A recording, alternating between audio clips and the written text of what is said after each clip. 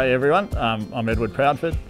Uh, this is Woodford at Narrawa. These are the boys, Dougal and William, and we're in our new Proway yards.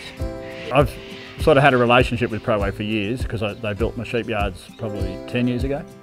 Um, and then they built big holding yards down there two years ago. So I've been talking to them about this job for probably three years. The critical time for us was November when we marked the calves. So I said to Mick Barrett, you know, I'm, i want to put the yards up, but they'd have to be finished by end of November. Um, and he was right. He said, we'll do that. So it happened. The plotting out and design stuff was great. Um, we stood here and Mick walked around and plotted all the trees and the sheds, even the front gates, and we could position the loading ramp so that there was enough room for a B double to swing in from the road, turn around, because on his, on his program he had a B double turning circle and the length of the B double. So yeah, there weren't any shocks after we built it. Oh bugger, we can't get a truck in there. You come back, all, it's all pegged out. Then the contractor turns up, bores all the holes, sets most of it up, and then a concrete truck comes and you know, three days later you've got a set of yards you know, we're all busy enough. We don't have time to be building our yards or stuffing around getting bits and pieces from here and there. You just know that the, it's going to be good quality. Everything's tried and tested. Um, you, you, blokes are locked away in back rooms designing stuff. I, I don't want to be, so I can just make the phone call. They did the shed, which is probably the most important feature of the yards because we didn't have a roof over our other one and they were long hot days and tempers frayed and wasn't a pleasant place. Um, this business here, the overhanging rail, it's, um, it's definitely a good one. Um, the rotary force, yep, for safety wise. Um, a few slam latches on the gates. Um, and just the speed, the speed of gate latches, you, you can shut a gate quickly the good rails. If you need to get out, you can get out quickly. Definitely a lot easier, more fun too.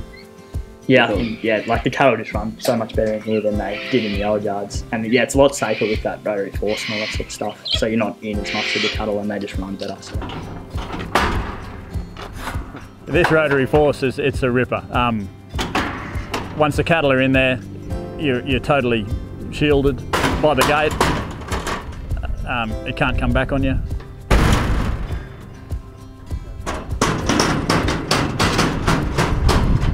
All the way right up to the back and you can virtually make it the back gate of the um, back gate of the race. We can just yeah, swing this gate back for loading up the ramp. I love this loading ramp with this handrail. It's totally safe. This access gate up here, I love it. You can close this one off here, stops the cattle coming up. And if need be, you can close this one to stop the cattle coming back out of the truck while they pen up. We loaded two B doubles of steers. From the moment the first B double came in that uh, gateway, we looked at the clock. 21 minutes later, two B doubles of steers were leaving, fully loaded. By having big water yards outside, you could do all your mustering the day before and you could put a huge amount of stock through the next day and then spend the next day getting rid of them, as long as they had room and water. We can work 500 cows and calves in this set of yards. And most of them are on water all the day.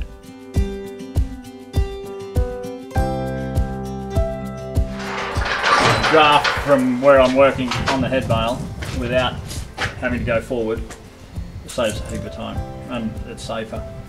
Um, it's confusing with all these levers. You can you look like a mad scientist from time to time. Um, but yeah, great thing. One of my favourite features. We can go three ways there and then we've got the laneway where if you've got a bloke down there, you can swing gates down there. So, you know, we can probably draft five ways. I can't imagine why we'd have to, but if we did have to, we could. And it's just speed. Instead of racing forward, swing a gate, latch it up, when you're preg testing in particular, you can do all your work from back there. Cattle aren't being balked. It's, that's another great feature of them. In a job like calf marking, we'll all be in here. Um, weighing, there'll be one fella back there pushing them up, and one bloke can do all of this you know, technically I can do it all on my own if I have to, but it's slow. Um, But yeah, one bloke can do all this in here and one fella out the back.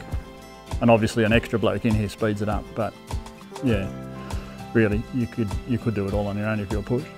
Overhanging rail is what, I love it because we mark our calves standing up in the crush. So if you've got a sulky little calf at the back there that doesn't want to come, you can grab him by the tail and walk him all the way through without letting him go. You don't have to dodge any posts. Um, not to mention vaccinate, we don't vaccinate in the race, but if you did, you can just get your hands on them all the way around without fear of breaking your arm.